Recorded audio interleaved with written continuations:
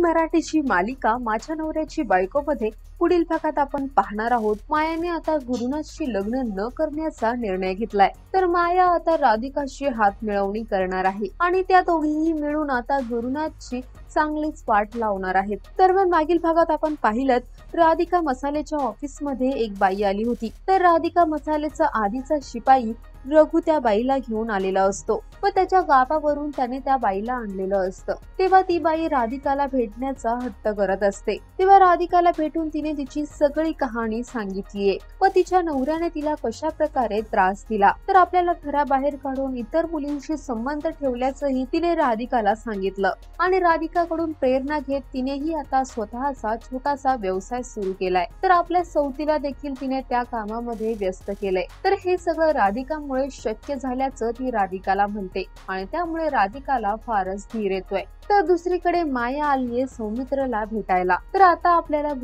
गुरुनाथचं सगळं काही रूप समजलंय. व गुरुनाथ आपल्याशी आजवर कशा प्रकारे खोटं बोलला हेही आता मायाला समजलंय आणि त्यामुळे तिला फारच वाईट वाटतंय. तर अशा प्रकारच्या माणसाशी आपण कधीही लग्न करू शकत नाही असं तिने सौमित्राला सांगितलंय. व हा आपला शेवटचा निर्णय असल्याचंही ती म्हणालीये. तर आता आपण राधिकाला भेटून तिला साथ देणार असल्याचं ती म्हणते. व आम्ही दोघी मिळून त्या गुरुनाथची वाट लावू असंही तिने सांगितलंय. तेव्हा आता राधिका आणि माया कशा प्रकारे गुरुनाथची वाट लावणार हे पाहणं इंटरेस्टिंग ठरेल. मराठी मालिकांच्या अशाच अपडेटसाठी टेली रिपोर्टर मराठीला सबस्क्राईब करा आणि तुमच्या प्रतिक्रिया कमेंट बॉक्समध्ये नक्की नोंदवा.